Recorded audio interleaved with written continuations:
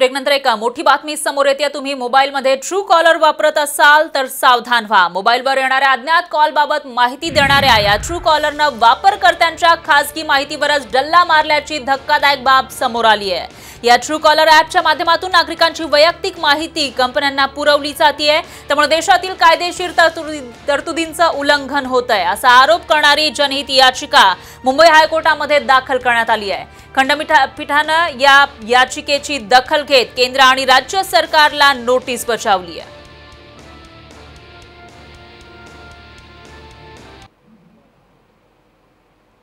ब्रेकनंतर एक धक्कादायक बातमी आहे का? बोगस डॉक्टरनं दहा हजार रुपये घेऊन एका तरुणीच्या डोक्याची शस्त्रक्रिया केली आणि यानंतर या तरुणीचा मृत्यू झालाय. त्यामुळे एकच खळबळ माचलेली आहे. तर गोंदियाच्या सालेकसा तालुक्यातील साखरी टोला इथं ही घटना घडली आहे. या प्रकारामुळे गोंदियामध्ये सुरू असलेला बोगस डॉक्टरांचा काळा धंदा समोर आलाय.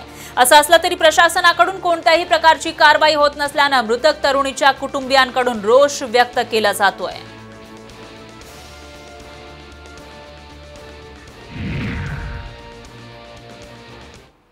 यानंतर बुलेटिनमध्ये वेळ झाली एका छोट्याशा ब्रेकची मात्र ताज्या बातम्यांसाठी तुम्ही पाहत रहा साम टीव्ही बातमीची व्यवस्था बदलेल.